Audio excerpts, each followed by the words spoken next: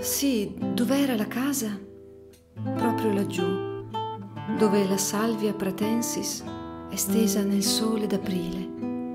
E i rottami sono altrove, se n'è fatto il fondo d'una strada, gli intonaci in polvere che gira per l'aria, le parole come bolle esplose e dissoltesi, o raccolte una per una nei libri del cielo righe, segni, tratti, a contenere le nubi e le sagome dell'universo, a comporre i pentagrammi degli astri che ruotano e una melodia eseguono.